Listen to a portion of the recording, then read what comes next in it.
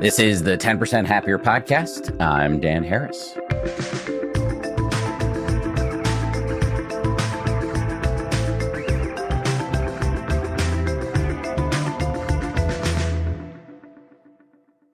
Hello, everybody. This is uh, another one of those episodes where I test that old adage about never meeting your heroes because they'll inevitably let you down. I am a massive fan of Jennifer Egan. I just finished reading two of her novels A Visit from the Goon Squad, which won the Pulitzer Prize back in 2011, and then the companion novel, The Candy House, which was one of President Obama's favorite reads of 2022. Jennifer Egan is not only a novelist, she's also written short stories and award winning magazine journalism. She's one of those writers who can both spin a fascinating yarn and loaded up with insights into everything from human nature to the future of technology, all while pulling off these bewitching turns of phrase, or what the writer Jonathan Franzen has called micro felicities. I love that term. As I continue to toil away at my own book, Egan's work gives me that pleasantly unpleasant feeling of being a complete hack. Anyway, the good news is that she did not let me down at all. As you will hear, she is as funny and interesting and open IRL as she is on the page. Although I'm not sure she feels that way. One of the things we discuss here is how much smarter she feels in writing than in speaking.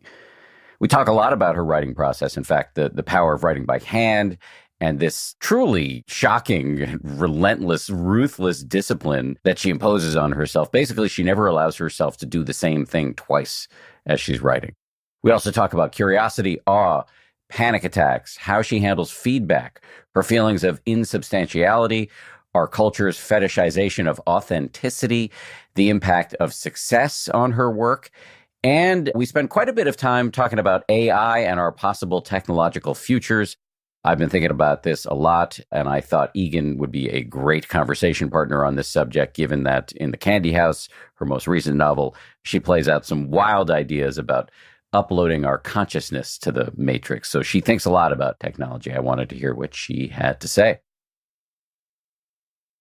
Jennifer Egan, welcome to the show. I can't believe I'm sitting here face to face, albeit digitally, with you. I've just finished reading two of your books and absolutely loved them. So, so nice to meet you. Well, thank you so much. And I'm happy to be here. You write the kind of books that when they end, I'm really sad. It's just like I missed the book. Uh, I'm happy to hear that because I love that feeling myself as a reader. So I read uh, Visit from the Goon Squad and Candy House, and I have read recently that there's some effort to turn them into filmed entertainment, which I'm excited about the chance to sort of dive back into the world in a different way. Yeah, we'll see what happens. I mean, Goon Squad has had many deals and none has yet resulted in a show, but maybe the addition of Candy House and a new team will be the magical combination.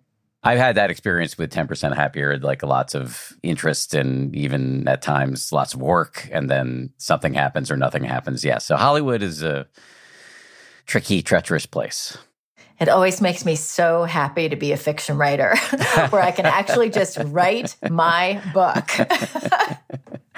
well, I'm happy you're a fiction writer. I mean, it's like I get the same feeling reading your writing that I get when I'm like looking at the Grand Canyon. It's like I'm in awe that a human mind can produce words in that order that provoke dopamine and serotonin to go off in my brain. And so it's so cool what you can do. Ah, thank you. I uh, didn't actually know much about you until I started to prepare for this podcast. I kind of didn't want to know anything about you. Uh, maybe that would some somehow pierce the mystery but in you know asking my team whether we can somehow inveigle you into the podcast i then had to learn a little bit about you and i'm glad i did because one of the things that sort of leapt out to me from your life is something that i think we share which is panic attacks and you've talked about how panic attacks in a strange way got you into writing am i right about that well, I think they helped me to realize how essential writing was to whatever kind of experience I was having. I really started having panic attacks when I was taking a year off between high school and college and traveling in Europe with a backpack on my own. And I had worked for most of that year to earn money to do that. And now I was on the awaited trip. And I started having these, I called it the terror because I'd actually never heard of a panic attack. And I thought that I was having drug flashbacks, which says something about my high school years, which had just concluded.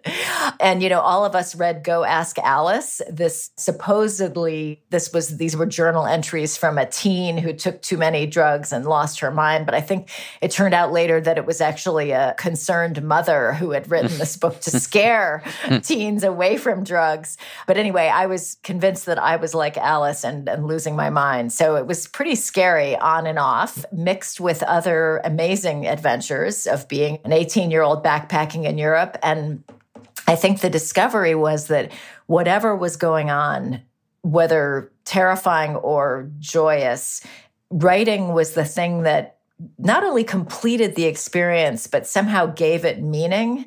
And so I just emerged from all of that with a strong sense of the essentialness of writing for my experience of the world. Like you couldn't process it without somehow writing it down? I don't know if it was exactly that. It was that the experience wasn't complete hmm. without that component of writing. And amazingly enough, I even was able to write during the panic attacks hmm. sometimes, hmm. which created an amazing record, I have to say. I still have that journal. So I think it was something about the recognition that without writing, the world simply was missing a really important aspect. And so it wasn't so much a sense that I had amazing talent and visions to share, as the fact that I knew that for me, writing was just the essential thing that had to happen. It's interesting you say that the experience wasn't complete without writing it down. I don't know if this is going to work, but I feel like nothing's real until I've told my wife.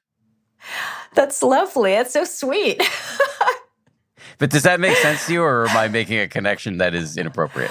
No, I think that makes total sense, actually. And I think maybe in my case, it's I have to tell myself there's some sort of loop that needs to be completed for the experience to feel entirely real.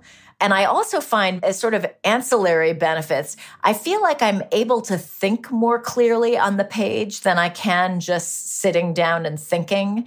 And I think I'm measurably smarter if I'm writing. I just feel like I make discoveries when writing that I simply cannot make, for example, in conversation. So there's a kind of enhancement or maybe a clarity that it gives me that allows me to understand my own thinking in ways that I can't without it. What do you think's going on there? Why is it that you're smarter when writing than talking? Well, one thing is when I write fiction, I write my first drafts by hand, so in cursive. And I feel like there's something about that act that has a kind of meditative or concentrating quality. I don't actually meditate, but I feel when it's going well, like I do have a slightly different state of mind if I'm handwriting. And it seems to detach me a little bit from the world around me in ways that somehow adds to my ability to get to some deeper level of thinking, which maybe is where intelligence lies. Mm. I find myself thinking a lot about groupthink lately because of ChatGPT and the general freak out about it. And you know, ChatGPT seems to be literally the embodiment of groupthink. That's what it is. It's pulling on all this language that's floating around out there. I feel like when I write in a more surface way, say if I'm just on my computer writing, I feel like I partake of groupthink. Hmm. And somehow I'm trying to get beyond that, and handwriting helps me to do that. So there's something about writing in all its forms that seems to push past more uh, familiar language and familiar thinking in me and allow me to access something deeper and more original. First of all, I want to come back to Chat GPT at some point, but we'll get there. My writing is not uh, on your level at all. But when I write, uh, mostly I'm standing at a computer and I'm in abject misery. But the best stuff is when I print it out. And I'm, I only put this together when I read about your interest in handwriting. When I print it out and make notes on the page, or if I'm on a meditation retreat and I don't have a computer and I bring a journal and I'm writing stuff, that is always when the best stuff comes. It's never at the computer. I don't know if it's because of groupthink or what, but I didn't crystallize that until I read about your process. Well, you know, one thing it might be too is the critical part of all of our brains that essentially starts censoring us before we've said a word. So, what I find is that if I'm looking at a screen and seeing what I'm writing in print, I immediately see what's wrong with it and I start trying to fix it. So I'm kind of going backwards mm. practically before I've gone forward. Whereas handwriting, you know, even if you have nice handwriting, which I do not, is not really as easy to read as print. And so there's a way in which it remains a little mysterious. And I think that blindness that handwriting can give us is also really useful. It just sort of relaxes that critical tension of wanting to fix things. I also edit by hand on hard copies, what you just described. And I feel like a lot of really good stuff comes along that way. In fact, that's almost the most fun because trying to create something out of nothing is always really hard and kind of scary, you know, the so called blank page. But having something there already on a page and making it better is just such a joy. Hmm. I don't think I ever or maybe maybe 2% of the time feel anything resembling joy when writing. It's mostly just, you know, dissociation, self-hatred, eh, things in that zone. Well, I guess I'm lucky that I do sometimes feel that joy. Not always by any means. I mean, there are definitely miseries uh, for sure. But the sense that I'm solving a problem, having a flight of fancy that might make something better mm. is really exciting. And it can be really absorbing. Like I have edited hard copies by hand on an escalator. Hmm. I've done it in an elevator. I, I've gotten off the subway and sat in a smelly, dank station just to kind of finish what I'm doing before I have to walk down the street. So it can really be absorbing. And that's such a thrill, honestly, to feel like there's this alternate world that I'm inhabiting that is so compelling that I can even engage with it in these odd situations maybe I'm underplaying the joy quotient here because I do remember being so absorbed in. Um, I was on a shoot in Brazil and I was in a crack house in Rio and I had a minute and I um, edited some pages from my first book in the corner of a crack house. Maybe I was just high, but I did enjoy that. Um, anyway, so let me get back to your panic attack for a second. Um, because in your description of it to the New Yorker, I saw something that really resonated with me. I'm just going to read it other people are real, you said, and the world recognizes their reality, but I'm kind of a figment. I'm just a wannabe person. That was a really hard way to live. And I think when those panic attacks came, there may have been sort of a weird existential aspect to them. I kind of felt like I was disappearing or my brain was crumbling. It wasn't like dying, it was like vanishing. I'll tell you why that hit me, but can you just elaborate upon what I just read if you're up to it? Yeah. I mean, when I was younger, especially, I really did have a sense that other people were more real than I was. By which I mean that th- I thought that their lives were more valid and also more intense. So there was kind of a sensory aspect to it, and also a kind of, I don't know, a sense of, I guess, status or legitimacy. I just felt like I was a kind of half person and that if I were only someone else, everything would be more vivid and somehow more complete. And that was, of course, a terrible way to feel. And I think there were a lot of reasons for that that are biographical. I mean, I was a stepkid and I didn't really exactly have a family unit where I felt like I played a totally integral and necessary part. But I also think maybe it was just my personality because later I've come to feel like the ease of disappearing without the negative connotations like I'm not real, other people are more real. That sense of disappearing is actually something that I really like. And I think when I talk about you know being so absorbed in creating a fictional world that I can write on an escalator or an elevator, that's an expression of my own disappearance. I mean, if you think about it, you know, for example, Catholicism, which is the religion I was born into uh, and, and have not really observed past about the age of 10. But, you know, the whole idea of transcendence, of an afterlife, this whole notion of somehow rising above the everyday ordinariness of our lives, in a way, that's a description of what I'm talking about this sense of being lifted out of my life. So that's a more exciting and spiritual way of describing what as a teen felt really scary, which was that somehow my life was disposable or dispensable.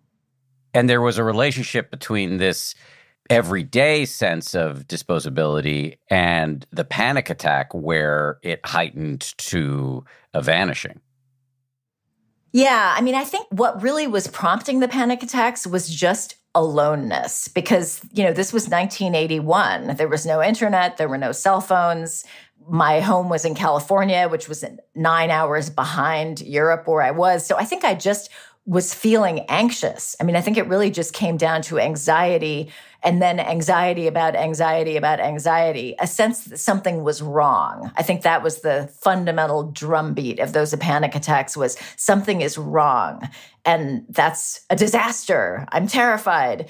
So I don't know. I, am not sure exactly how it relates to the disappearance, but I think all of it is an expression of the fact that I didn't have a strong sense of self yet. And I was not able to calm myself down at all. In fact, I was just noticing my fear, and that made me more afraid. I was an anxious teen. I mean, that's putting it kind of in a humdrum way. um, but it really did come to a head because I had isolated myself so extremely. And in a way, that's the strangest part of this story. Why, as an anxious teen, was I wandering around Europe with a backpack? With a nine hour time difference from home.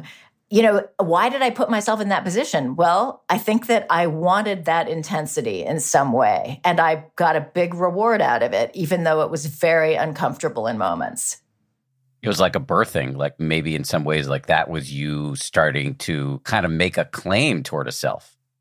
I think it was actually because it's not that I stopped being anxious after that. I'm still anxious, but I do think of that as the time when I pointed in a direction that I'm still pointed in, or I returned from that trip. And by I had to leave unceremoniously and not as planned. Like I reached a point where I couldn't go on. And I was really bummed out because I had to spend all of this hard earned money buying a ticket, like on the spot and flying home. But I do think that from that point on, I was beginning to live the life that I'm still living. And up until then, I had just been flailing around trying to figure out who was cool and how to be real. There's so much in what you've just discussed that I relate to as somebody who's had panic attacks and also who, you know, does his best to practice Buddhism. Maybe I'll go with the Buddhism route for a second. And I don't know if I'm going to be able to make this into a coherent question, so forgive me.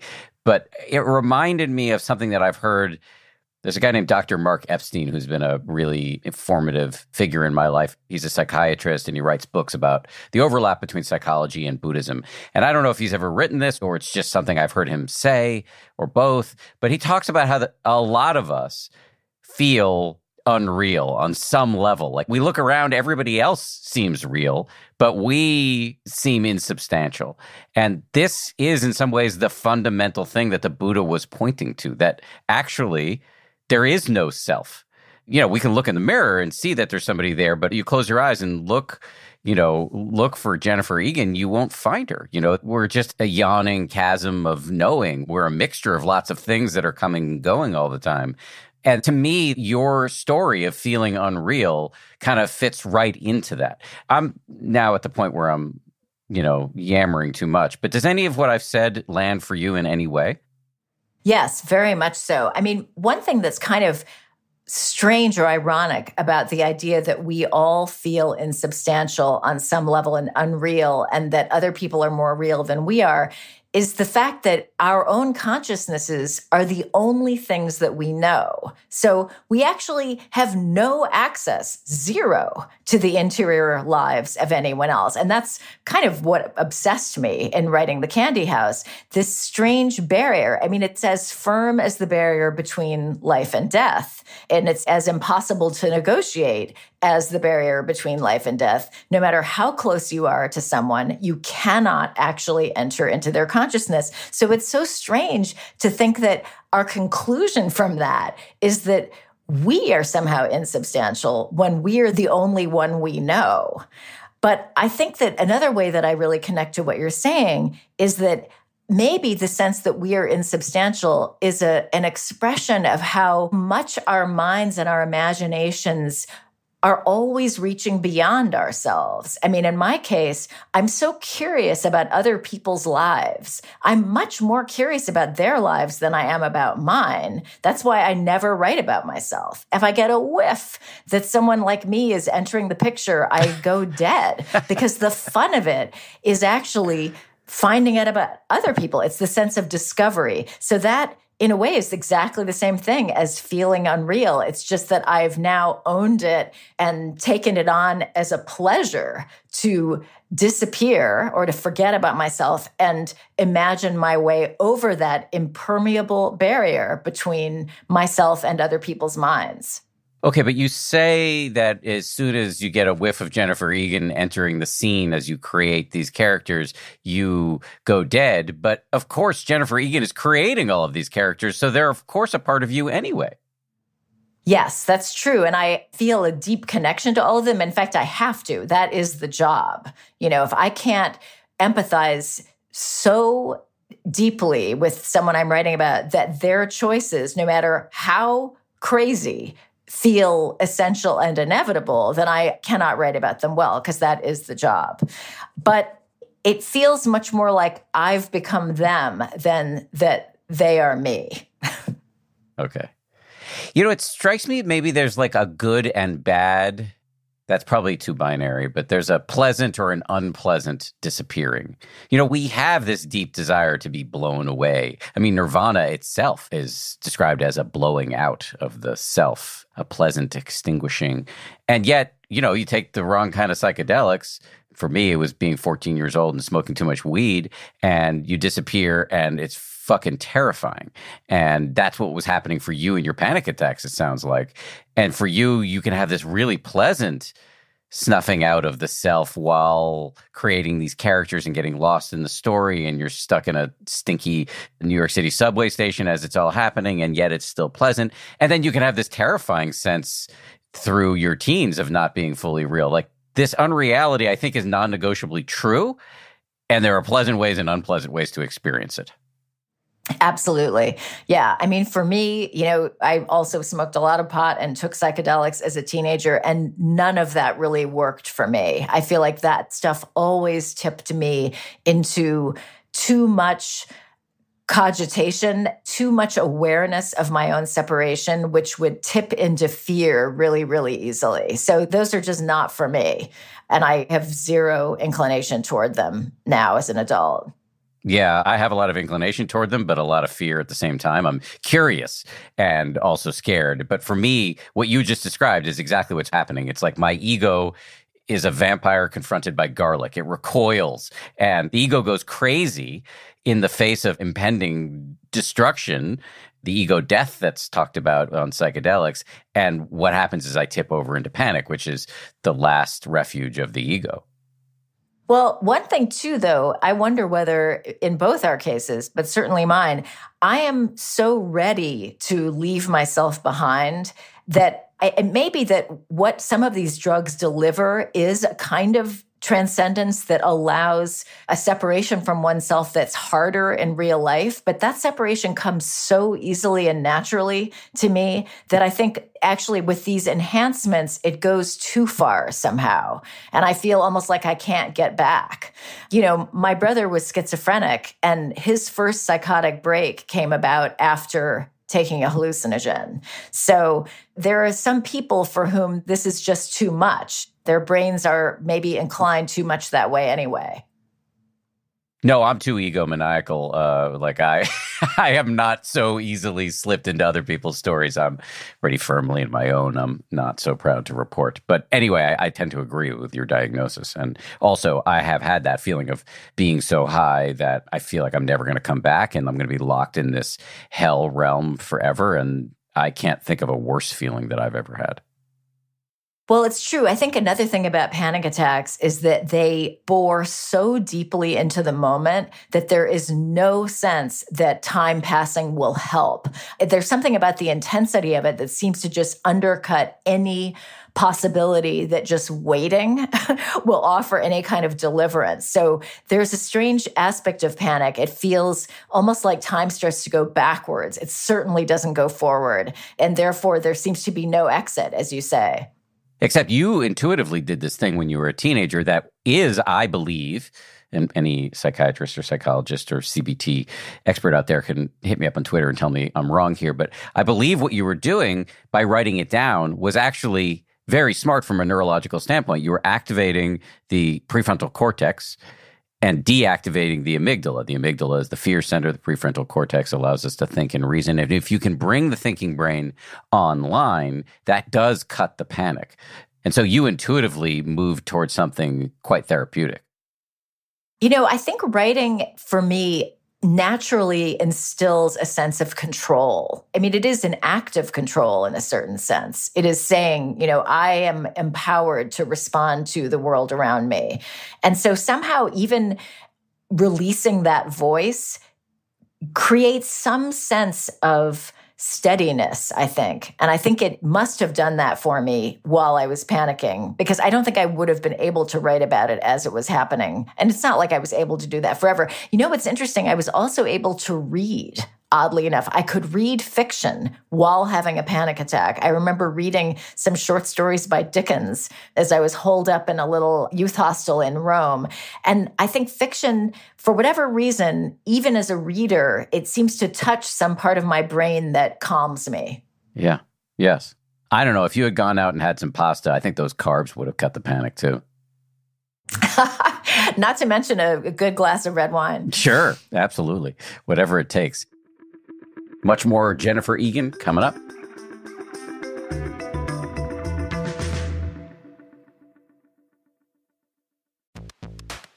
I remember very vividly shopping for baby gear before our son exited the womb and uh, entered the world. And it was fun, but also really stressful.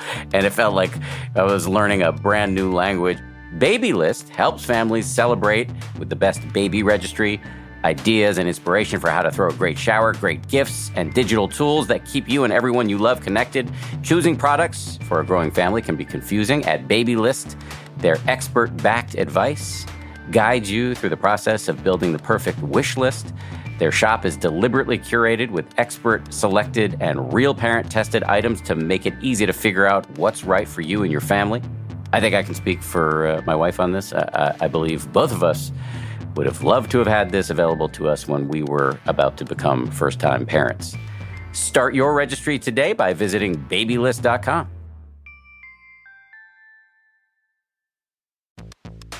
Match believes dating as an adult should feel exciting, thrilling even. However, Match also believes many of us may want to find a true grown up at the same time. For example, can you rip the clothes off somebody who actually knows how to put clothes away? Per match, here's how you know if you're dating an adult. They remember your coffee order. They can do their own laundry and not just by throwing everything in on cold. They can communicate well about their emotional wants and needs. If you know who you are and what you want in a relationship, Match is the place for you. Adults wanted. Download the Match app today.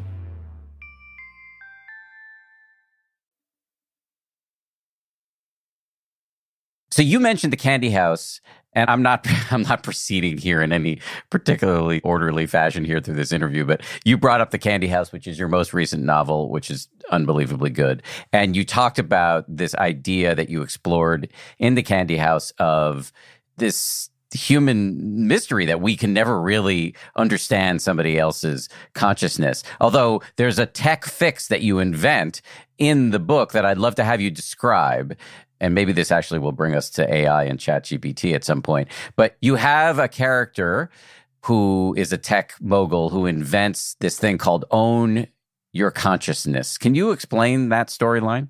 Sure. Own Your Unconscious, actually. Own Your um, Unconscious. Um, Sorry. Yes. So, yes. So, here's what it is Own Your Unconscious allows you to externalize the entirety of your consciousness, all of your memories and perceptions, starting at the moment of birth, onto a beautiful cube that comes in a variety of colors. And what that lets you do is review the entirety of your life, any portion of it, from a present day perspective. And if you want to, purely voluntary, you can share all or part of this consciousness to a collective consciousness online. And in exchange for doing that, you will also have access to a proportionate quantity of that collective consciousness, i.e., you will have the ability to experience consciousnesses of other people anonymously.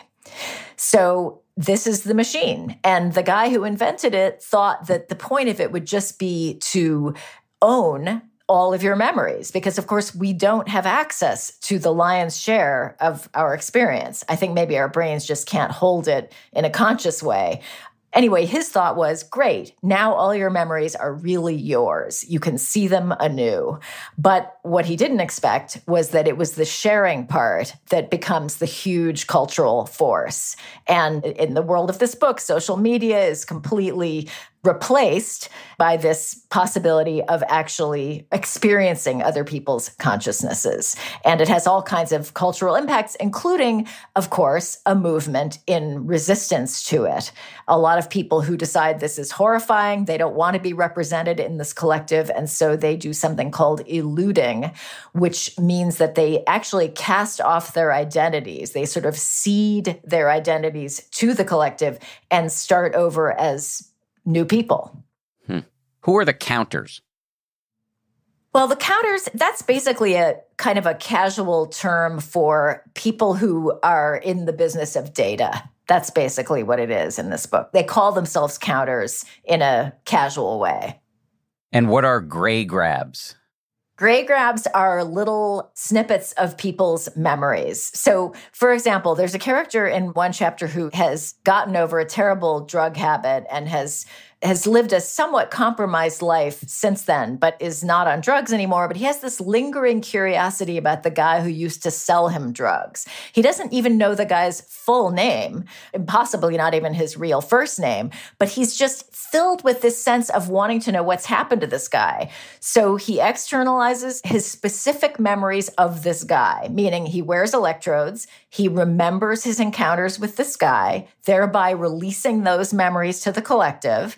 Then there's a kind of process where using facial recognition, the program matches his memories of this guy with other anonymous memories from the collective of this guy. And he's able to view snippets of this guy's life using so called gray grabs, these anonymous memories that other people have of him. So he sees him as a kid, he sees him on a kind of wilderness program, he sees him in college, he sees him selling stolen stereo equipment, and finally he sees him, you know, in orange in a penitentiary. So he, his question about what happened to this guy is somewhat answered without ever knowing his name.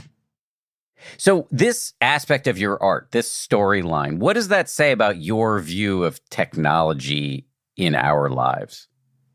Well, I don't know if it reveals what I think about technology because what I think about it as a civilian is not very interesting. I mean, I'm a boomer. Like, I'm scared of it. Surprise! I grew up without all this stuff. I think it's kind of bad. I'm worried about people's attention spans.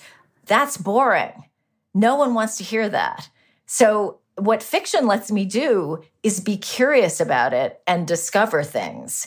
And sometimes through that discovery process, I realized that I don't really think what I thought I mm. thought about mm. something. So the Candy House is a much more optimistic book than I would have expected to write. You know, it is, I think, pretty affirming of people's ingenuity and the idea that in the end, we're still people no matter what technology we're dealing with.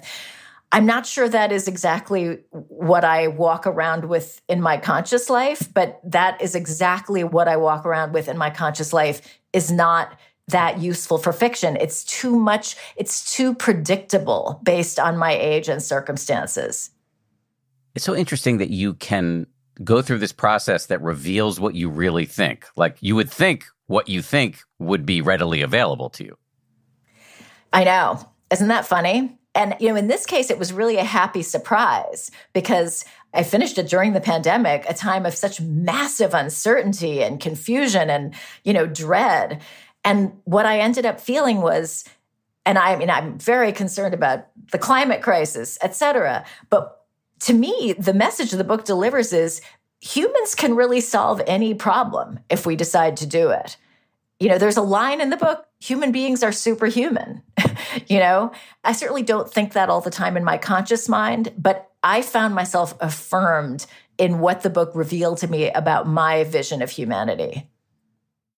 Okay, so that brings us to Chat GPT and all of this freaking out that's going on with AI. Maybe I'm provoking you to say something boring and predictable. I don't know, but I'd love to hear what your thoughts are as we stand at what could be the cusp of, you know, world shaking, history making technological developments. Well, I should start by saying I've never used ChatGPT. So, am I even qualified to say a word? All I can comment on is the freak out. um, and, I, and I'm willing to do that. I mean, I'm going to say a few things. One is, I think that the very fact that any topic or any conversation is so amplified, so constant, so easily tending toward hysteria sometimes has a distorting effect on the topic. So, as I've witnessed the freak out about ChatGPT, there's some part of me that thinks, okay, is this really as big a deal as everyone's saying? And again, I don't know. I'm not sure what it means at all, except that, you know, I think about other technological things that seemed impossible, like that a computer would ever beat a human being at chess or later go. You know, there was a feeling like, no way. But then computers did. It didn't stop people from playing chess. In fact, it seems that people are crazy for chess right now. And knowing what the computer would do has just been absorbed into the process of playing chess and actually seems to be an additional dimension that does not in any way diminish a human accomplishment at playing chess. So I don't know. I guess what I'm really saying is I'm a bystander right now sort of watching this unfold. To me, the most frightening part is certainly the Frankenstein idea of ChatGPT somehow setting off nuclear weapons or something like that. Um, I mean, that's appalling and horrifying and, and so familiar to us from many dystopian backstories and also like scary movies. But that's just what's already out there in the popular culture.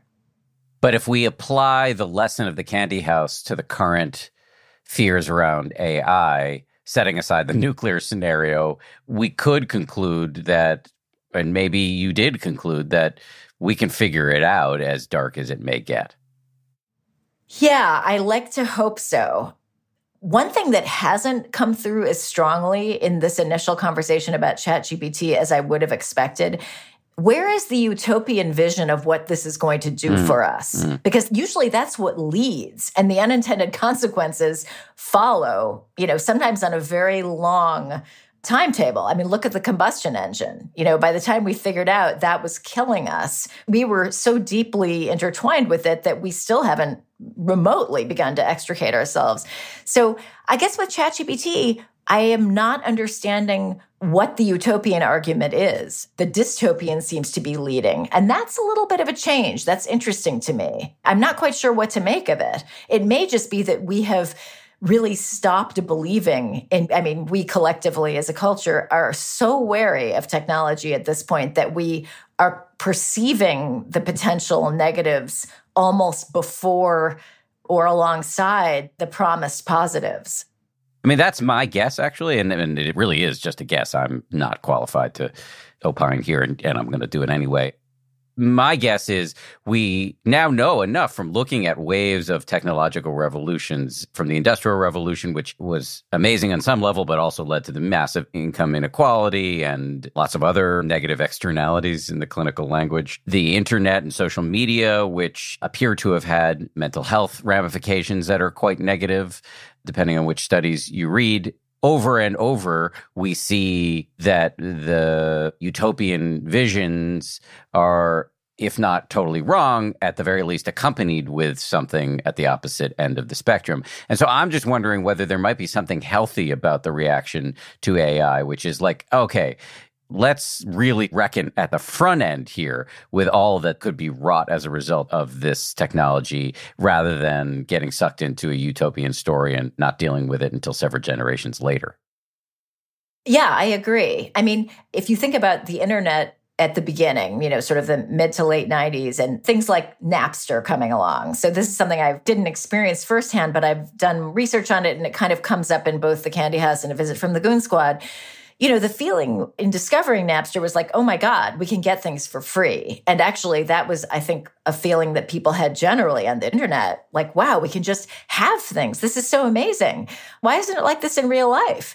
But it turned out that the reason things were free was that there was a different economy setting in that most of us in no way understood. And I remember for me, the penny dropped in 2003 when I was writing a nonfiction piece for the Times Magazine about online dating. And I was interviewing someone from Match.com. And I couldn't get my mind around why Match.com as a business had such a high monetary valuation. I was thinking like, what are you? Why, why are you so valuable? And I essentially asked that question. And the person I was interviewing said, Oh, well, because of all the personal information we have about everyone who uses Match.com. And in that moment, I really had a kind of, oh my God moment. I got it suddenly. You know, it took a long time for many of us who are not technologically oriented to understand that none of this was free. We were just paying in a different way. We were paying with our attention and with our data. So it seems like ChatGPT may be introducing a new paradigm of value and transaction. And maybe it is a good thing, as you say, that there's a reaction of terror because it seems like, you know, I guess the question is why are we creating technology that makes us obsolete? What good are we doing there?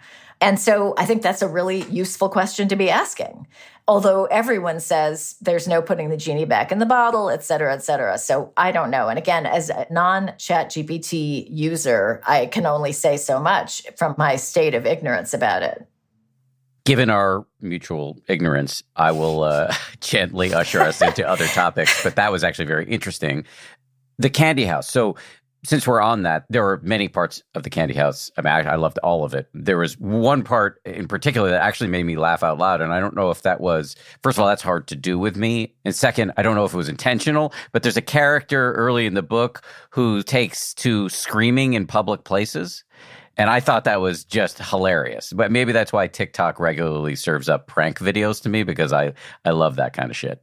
And the guy's doing it, if memory serves, because he wants to see genuine reactions. And he thinks everybody's such phonies that if he can scream at the top of his lungs for 10 minutes in a crowded place, he's actually going to see everybody drop the mask. Am I stating that correctly? Totally. Yeah. I mean, he's obsessed. You know, I think as a culture, we're pretty obsessed with authenticity. We, we fetishize it to some degree, which is always kind of interesting because usually we fetishize things that feel scarce. um, but yes, he feels that people are fake. He feels that they're playing themselves and that they're too influenced by, you know, basically generic popular culture. So he starts screaming and it becomes a little bit of an addiction in the sense that once he has had this experience of seeing the mask fall, as you say, seeing these genuine reactions, which of course are really negative. I mean, imagine what. you know, at one point he likens them to the expressions of people in a plane plunging toward the sea. He loves that. And of course, if you get a taste for that, real life starts to seem really boring. So he'll get this kind of itch to scream, sometimes in very inappropriate, well, I mean, it's almost never appropriate to do that. And it's problematic. And we basically in the book witness his final screaming episode, which goes awry. But I too found him pretty funny, I have to say. And I'm glad you laughed out loud because I love writing about things that become really absurd and yet still make sense. And I think that's another reason I like writing by hand in this kind of blind way, because it's very improvisational. Mm. And if you think about a lot of improv that we see on stage is comedy.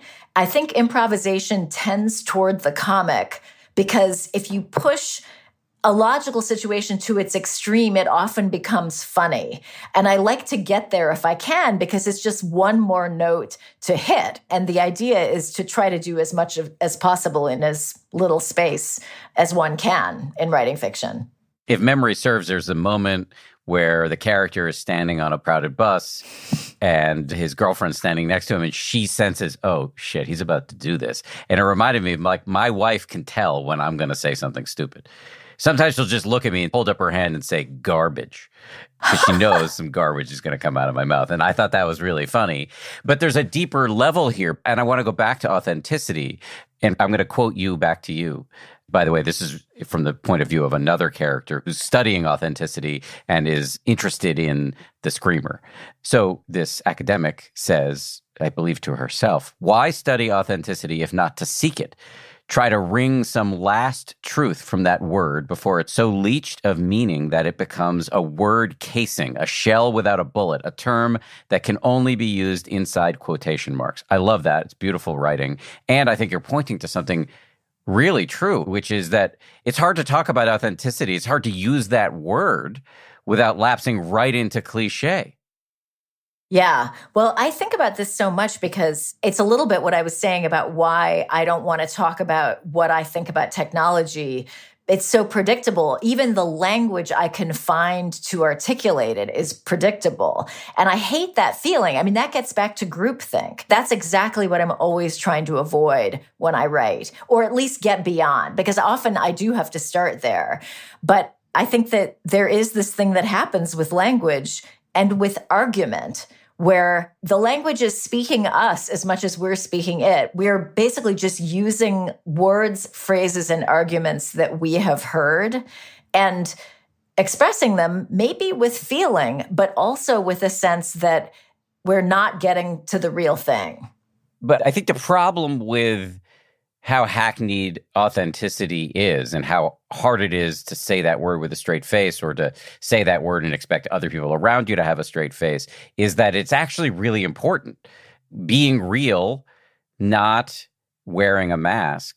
This seems like a really important human capacity that we ought to be talking about quite a bit. True, but I think that it's one of those things that if you have to talk about it, there's already a problem. Yes. Um, and it's hard for me not to think that it has a lot to do with mediation. You know, so much of our experience is mediated. And actually, none of this thinking is my own. So I'm just going to quote my source, a historian named Daniel Boorstin, who wrote a book called The Image, published in 1961. So before mass media as we know it. He is the man who coined the phrase famous for being famous. Hmm. And he isolated some really interesting things about the way media works, even at that very early stage. And one of the things he points out is that mediated experience feels artificial. It is, in some sense.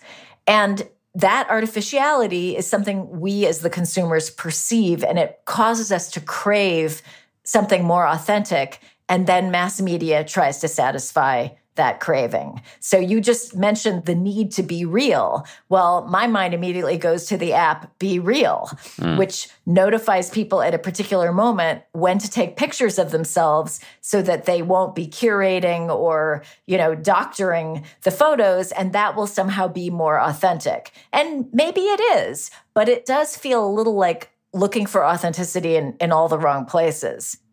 To me, this connects back to the beginning of this conversation about this feeling of insubstantiality we have. And Dr. Mark Epstein, this Buddhist shrink who talks about this feeling of insubstantiality that we have can result in like a performativity, you know? There's a poem once that my meditation teacher sent me. I think it was a line from a poem. I'm tired of walking around pretending to be me. Yeah, well, I also think, you know, social media encourages everyone to pretend to be themselves or certainly to commodify themselves effectively. And that is a pressure that I think young people certainly feel. I think it adds to the sense of one's own unreality because a lot of what I hear from younger people is that other people's lives seem better. Mm-hmm more intense, more perfect, more all of it. You know, the image culture plays into that deep human sense of insubstantiality and heightens it.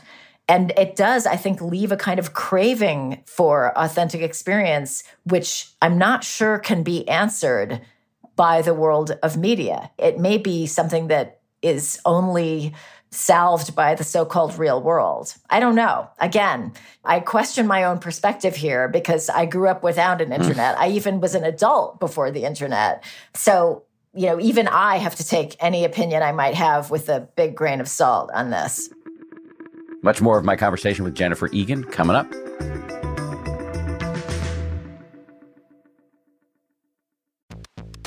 Feeling a little low on happiness? The Caribbean's sunniest island awaits.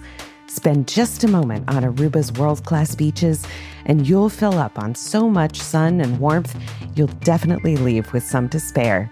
From cooling trade winds to crystal clear water to the nicest locals on earth, Aruba's natural beauty will put you at ease and melt away your worries. And here's the secret to it all what you feel in Aruba never fades. Your trip will end, but the warmth from the island remains inside you, bringing out a lighter, brighter version of yourself.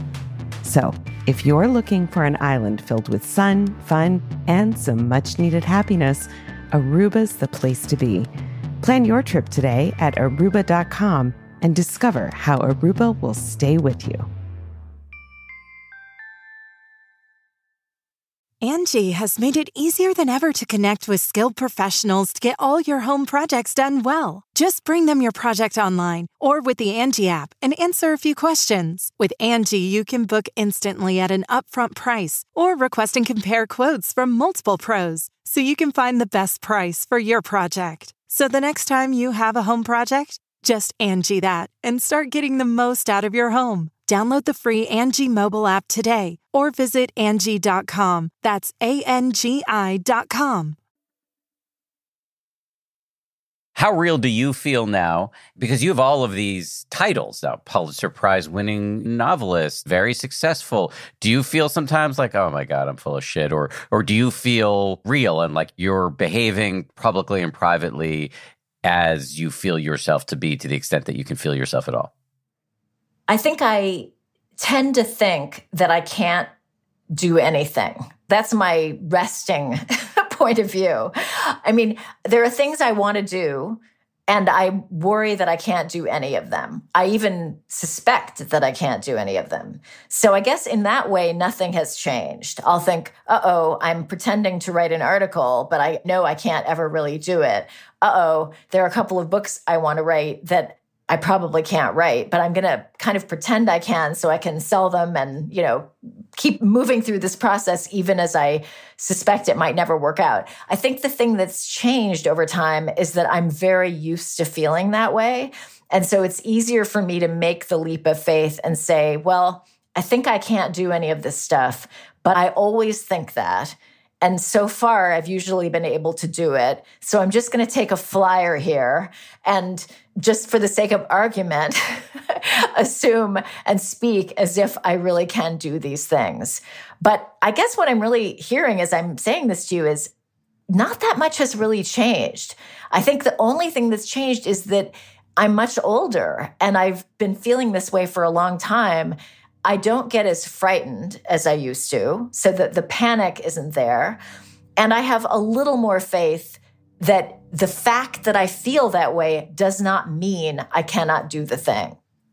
Well, I'm not in your head. We're not in the world of own your unconscious. But I think you're not giving yourself enough credit. I hear enormous growth. We're not, even I think I was interviewing somebody today who's very interested in Buddhism, and some Buddhist teacher had said to him, If you're an asshole and you become enlightened, you're going to be an enlightened asshole. Like, there are aspects of our character that are really deeply ingrained, and personal growth, no matter what flavor it comes in, is most likely for us mere mortals, not going to uproot them entirely. And yet, you've now found a way to talk to yourself when these, let's call them imposter thoughts, come up that gets you to move forward nonetheless. And that seems like a big deal. Yeah, you know, it's funny. It's less about talk and more about action. In other words, what I learned early was that thinking I can't do it doesn't stop me from actually being able to do it. Right. And so I have a high tolerance for discomfort, and that is a huge asset. Because what I've found is that actually doing the thing is what solves the problem. If the thing I'm afraid of is that I can't do it, you know, doing it is is a big help. So I just try to proceed. I mean, I think I'm pretty dogged, honestly. And it's a very unsexy asset, but it is actually really useful. But just to say, there is some talk in there because you described it. It's like, okay, you feel this way, but let's take a flyer. I mean, there's a lot of data on this kind of, and I'm not talking about Stuart Smalley cheesy affirmations here. I'm talking about like talking to yourself the way a good coach would talk to a player. You are just saying, yeah, it's a, you feel this way, you felt this way before, but look at the weight of the evidence, A, and B, let's just try it. That actually is self talk that then leads to the action, unless I'm misunderstanding you. No, I think it's true. I mean, but again, it, the writing and the strength I feel when I'm writing is also a really important part of this because yes. often the thing I'm trying to do or the thing I'm worried I can't do is some writing project. And actually, just writing in and of itself gives me a feeling of control. Mm-hmm and possibility. So that's a huge help. I can be a very abusive boss. I've thought about this. I had an abusive boss for about three years, and she talked to me in ways that I should never have tolerated, although she also paid me really well. So no regrets because I got a couple of books written in those years. But, you know, I can speak to myself very harshly in ways that even I, as an employee, would not tolerate. So, my working environment is not always good. It really isn't. But I've learned that the best answer for all that is just to do the work. You know, hopefully over time, we at least get better at managing ourselves. I think that's kind of what I've gotten better at. I'll think, okay, okay, this is one of those days where every thought I have is going to be, yeah, and you did it wrong, or yeah, and you screwed that up. Yeah, you failed. This is a day to not listen to myself. Or honestly, exercise, huge help. So I just try to work around it when I get in that state of mind. Okay, so let's talk about another aspect of your work that I think will flow very nicely into it. And I, again, I didn't know this while reading your books. I only learned it in the last couple of days as I was reading about you. But you are ferocious in your hunt for new ways to tell stories. Let me just read to you a couple of quotes from you that I found in the New Yorker. Obviously, didn't have to dig that hard to find it in the New Yorker. And anyway, it was sent to me by Gabrielle, who's the producer of this episode. Uh, so no credit here to me. Here are the quotes. One, I feel such a hunger to do things that I don't feel I've done before. Two, I like to work against what I've done before. It's not as simple as even just wanting novelty. I want to repudiate is too strong a word, but if I've gotten used to doing something, I like to cut off that possibility to see what happens next. It's a little like pruning. You prune to encourage growth in new ways, and I try to prune my own habits to keep growing and getting better. This sounds like First of all, you made me feel extremely lazy as a writer, but this just sounds like quite a brutal process you're imposing on yourself. You know, it has a moment where it's very uncomfortable to be cut off from something that I want to do. But usually there's such an immediate reward. There's something very freeing about it. You know, for example, when I was working on my novel Manhattan Beach, which I published after A Visit from the Goon Squad, I brought with me some narrative habits from A Visit from the Goon Squad and started trying to use them to write a historical novel, a noirish thriller set in New York during World War II. And I thought that it would be really fresh and new to, to bring these devices to a historical novel. But in fact, they were ill suited to the material. It wasn't working. It was what I had been doing. It felt very familiar to me.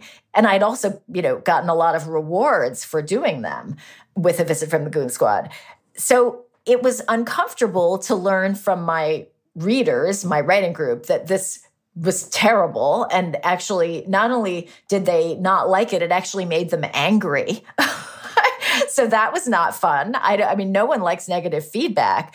But then when I resigned myself to the fact that this stuff really wasn't working and just let it go, I felt such a sense of relief and possibility. So brief discomfort is sometimes the cost of or what accompanies a transition for me. But on the other side of it is freshness. And I really crave that. So it doesn't really feel brutal. It feels uncomfortable in moments, but ultimately thrilling. Because again, you know, I do this for the discovery. I'm a thrill seeker, you know, and I can't find thrills if I'm repeating myself. So it's very worth it to me to experience the feeling of being hamstrung briefly in order to get somewhere else that is new and to grow in some way. That's the whole fun of it. But it takes a real discipline. I mean, you've said if I figured out how to do something, my first goal is to not let myself do it. To me, that sounds like because I'm so lazy, like if I figured out how to do something, I'm just going to beat that horse until it's seven times dead. Well, I think you're not really giving yourself credit either. Like you're trying new things on your podcast, you're going in some new directions. So I think you know what I mean a little more than you're saying. But um, you know, I love the sense of novelty. In that way, I really do think I am a thrill seeker in writing. So I'm happy to do something once and it's a joy to get there. Sometimes these things are hard to do, like just to be concrete about it, you know, using PowerPoint, for example, to write fiction in a visit from the Goon Squad, or the piece I wrote for Twitter at 140 characters in the Candy House, which is a kind of a genre esque spy story. Those were really hard things to pull off because these are genres that don't lend themselves to narrative fiction in a number of ways. But the biggest reward for finally making it work, which involves so much trial and error and lots of dead pages that I couldn't use, but the real payoff for me is that if I can make it work, it's only because I've found a story I cannot tell any other way. That's the only time it works. And that's just exciting because it means that I actually have threaded a needle and am doing something that's precious because this is the only way it can be done. But then, as you can imagine, having done it, am I rushing back to PowerPoint? No. First of all, it's hell trying to write fiction in PowerPoint. And second of all, like at best, it's going to be an also ran. You talked about the importance of having readers. Like you have a writing group that gives you feedback on your work. And sounds like these people are are really honest, which is invaluable. How did you curate this group and what is it like to submit yourself to that kind of feedback on the regular? Well, the group began as a class and I was a paying student. So we were all paying a poet named Ruth Danon, who's a very gifted teacher, to orchestrate a workshop. And this is very common in New York. I mean, there are lots of writers who do this out of their living rooms and of course also in through institutions. Then, after a few years, we reached a point where I think Ruth also wanted to bring some work in, and it felt more like we were just a group of peers. So we morphed into a group of peers. And the personnel has changed a little over the years, but it's a small, pretty stable group.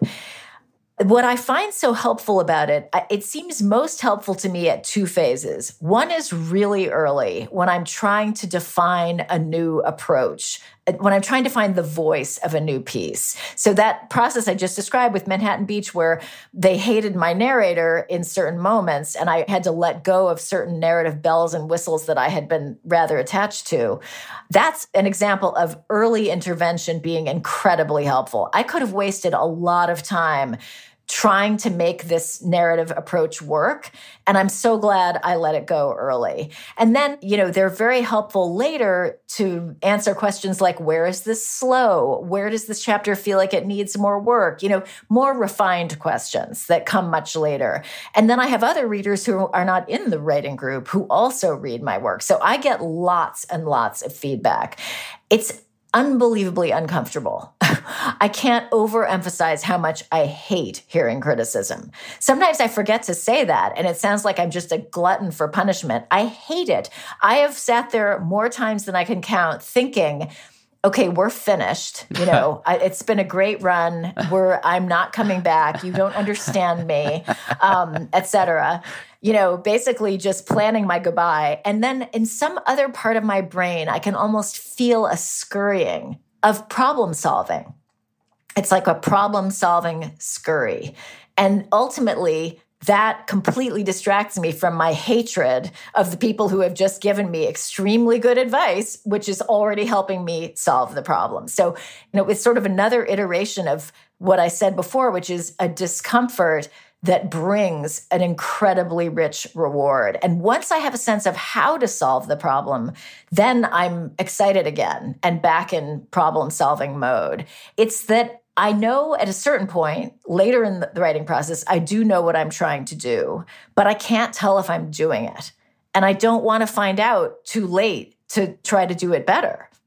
Yeah. So what you're describing here seems like a kind of enlightened self interest. It's like it's going to suck, but on the other side of it are so many rewards. 100%. It is really uncomfortable, but I'm a perfectionist. You know, I don't want to fall short of the vision that I'm trying to complete. And at a certain point, I just cannot judge that myself. It's amazing how, you know, I become less and less able to read what I'm doing in a fresh way. So as that diminishing of my own authority happens, I'm more and more dependent on the voices of other people to help me. There's one friend who's very critical, who's not in the writing group, who hadn't read The Candy House at an earlier phase because she was really, really busy. And I was moving, you know, really very close to my final draft, having gotten lots and lots of feedback. It was just troubling me that she hadn't seen it. And I kind of didn't want to give it to her because I knew that I would find out there was more that I needed to do but I finally did, of course. And when she responded, at first I felt rage and, you know, how dare you? And then I was just so grateful because she had found all these problems that other people hadn't picked up on. And, you know, each time I improve something, other things become foregrounded. Like if you solve big problems, suddenly problems that weren't big enough to really be noticeable before seem kind of big. So it's just a constant back and forth and trying to solve every problem I can. Yes, I do the same thing with my books. And, you know, I thought I was almost done with my next book about a year ago, and I gave it out to a bunch of people to look at. And I've spent the last year rewriting, and I'm probably going to take another six to nine months to continue rewriting. It's just what it is. And I actually think this is very scalable advice. Whatever endeavor we're engaged in, we should all be looking for feedback quite frequently. You know, I never want to presume to tell someone else how to create because I do think everyone's process is so radically different. It's almost shocking how differently we all do what we do. But I can't see a downside to at least hearing what someone else thinks and ideally you know several people and one other thing i'll say is that because i don't knowingly write about myself or people who live the way i do there's a kind of due diligence that I always have to do with my work, whether it's something very simple, like in the first chapter of The Candy House, there's an academic discussion group. And I was, you know, there's some kind of humorous aspects to this conversation, and they talk in a kind of vernacular, but at a certain point, I thought, you know, the truth is, I'm not an academic. And so, with every case like that in my work, I will give it to at least one person who knows better what this kind of event would really sound like. And I always get feedback that causes me to make changes. So, I'm really accustomed to a level of due diligence that I think adds to my my openness to getting feedback on what I'm doing. Yeah, I mean, I think this is a muscle, right? The willingness to hear and act upon other people's feedback. And I don't think it's just something that you would apply in creative endeavors. I think it's like, how am I doing at work, whatever I'm doing? Or how am I doing in this relationship? Or, you know, I'll sometimes ask my son, how are we doing? And I think that's just a, a habit we can get into that is generally quite positive, in my experience. Yeah, that's interesting. I haven't thought of that doing that with my kids. Maybe I should. But I do think sometimes there's a fear of other voices getting into the mix in a way that's bad, like muddying the result. But what I find is that in the end, I am the one who decides what feedback really resonates. And not everyone always agrees. Like, even in the writing group, people will radically disagree on something. Someone likes it, someone doesn't, uh, you know, a particular part or feels this language is, is off, others disagree. So, in the end, I'm the one who makes those calls. And again, I just don't see the problem with having some more voices in the mix. How are you as a giver of feedback? Because I've found that I crave feedback at every step of the way in a creative project, and also just like I'm looking for feedback on like how I'm doing in many areas of my life. And I love people who are willing to give me the unvarnished truth. And I'm actually not necessarily that brave all the time to do it for other people or that generous to do it for other people. You know, I was talking to a friend the other day and I'd given her a copy of my book. I'd given it to like six people about a year ago, and everybody else came back with like all these notes, and she was just like, "I love it." And I'd been thinking about that for a long time, and I was like, maybe she just didn't read it. And I saw her the other night, and she said, "No, no, no. I if I generally like a thing, I just stop getting critical. I'm just kind of along for the ride." Anyway, I'm saying a lot here, but how are you at giving feedback? I think I look very carefully for the signals that the person asking for the feedback is sending to me because I think sometimes people actually want to hear what your friend said. It's great. I love it. I also look carefully at what phase in the process someone is in. If a book is published or already in galleys, they're not going to be fixing anything. So they're not looking for a rigorous critical appraisal. That's not a helpful thing. But I am very willing to be pretty granular to apply my perfectionistic tendencies toward helping someone fulfill their vision as I see it, as it seems to be expressed to me in the work, if that's what they're looking for, and if there's time to respond to it. Yeah, I'll do that. It's a pleasure, actually. It's just a fun process to say, okay, here's what we've got this is what it clearly wants to be. And in some moments, it feels like that's being fulfilled. Where are the weak points and how might they be addressed? It's just a fun, critical process. Yeah, I wish I could say it was fun. Maybe it's never fun on the receiving end, but yes, to participate for other people, that is fun for sure.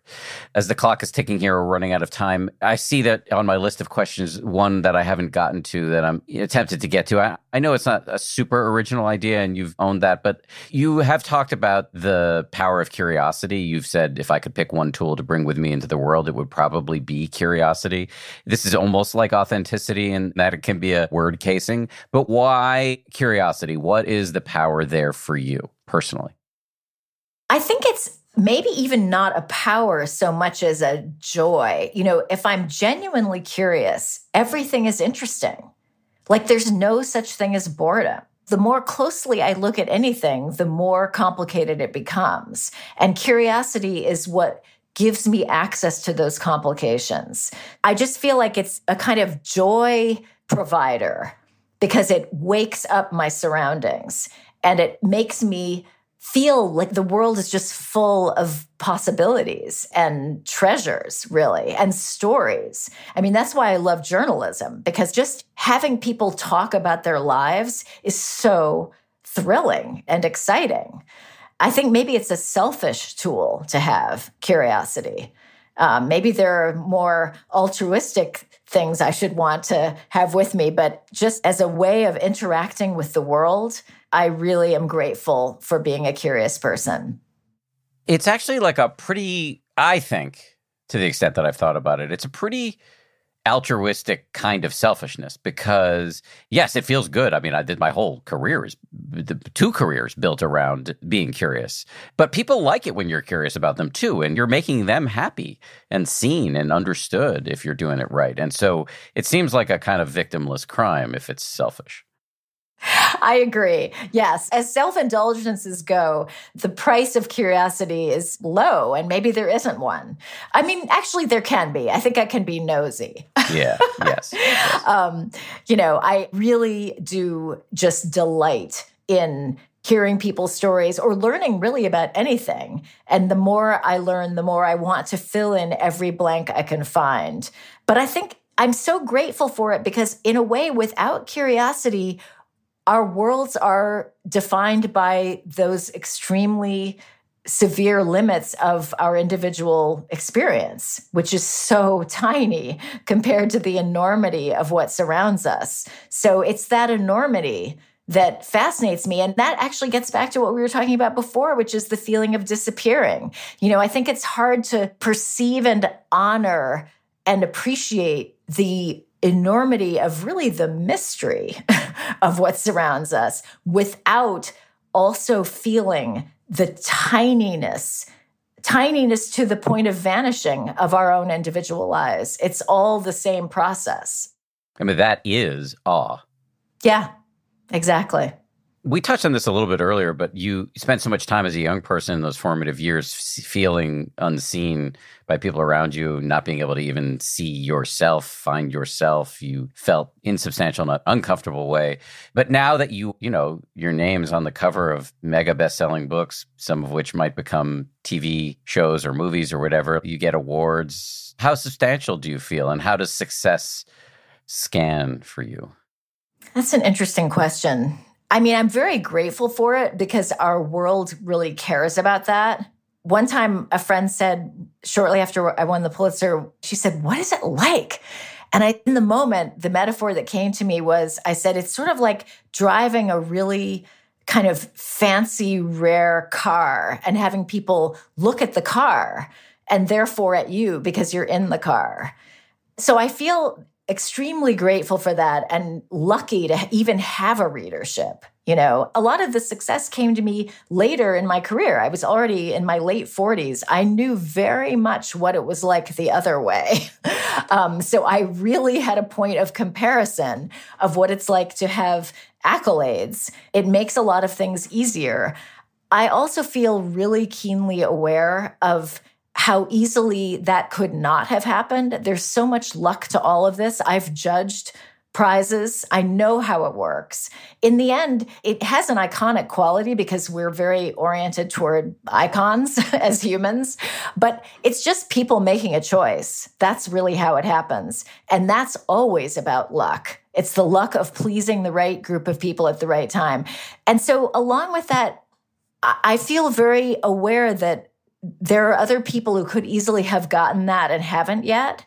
And I'm always aware of that. It's sort of like it's a shadow that comes along with my good luck, is the knowledge that it could easily not have happened and it hasn't happened to a lot of people who deserve it just as much, if not more. And this is not false humility. This is just fact. I speak from, you know, 60 years of experience. So I try to hold all of that in my mind. And I guess above all, I just want to keep getting better and do what I love to do in fresh ways. So ultimately, what needs to happen is that all of that goes to the side because that's just distraction. And I re enter the world of generating language, which is the thing I love. And to the degree that any of that stuff is in my head, it's always going to be to the detriment of the writing. So I try to be realistic about all of it, very aware of my good fortune, and then forget all of it, forget myself and all the things that have happened to me, and just, you know, move forward into some new world. Well, I'm glad you keep doing it because it's certainly benefited me as a reader of yours. Is there something that I should have asked you but failed to ask you? I don't know. I feel like we've covered a lot of ground here. Um, really enjoyed it. Yes, it's fun to be nosy. Uh, um, you've mentioned a couple of your books, but can you just throw out some names of your books just for people who haven't absorbed them, haven't written them down yet, haven't yet looked at the show notes where we'll have all the links for people who might be looking for their next read? Sure. Well, the new one that we've really been talking about is called The Candy House, and it's part of the same world as an earlier book, A Visit from the Goon Squad. There's not a prequel sequel because neither is chronological. Uh, noirish wartime thriller in the middle called Manhattan Beach. Then some earlier books. My novel Look at Me is actually connected to Goon Squad and Candy House. There's a sort of small Easter egg connection there.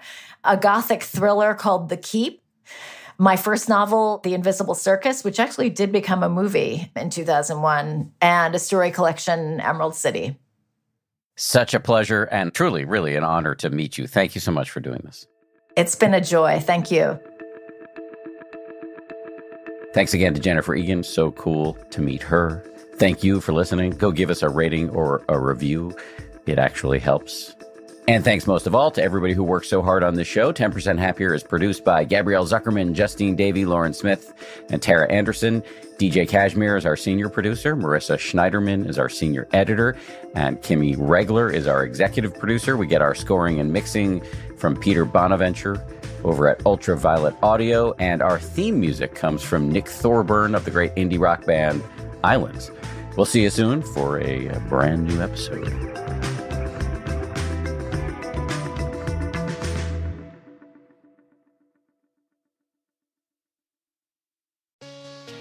Hey, hey, Prime members.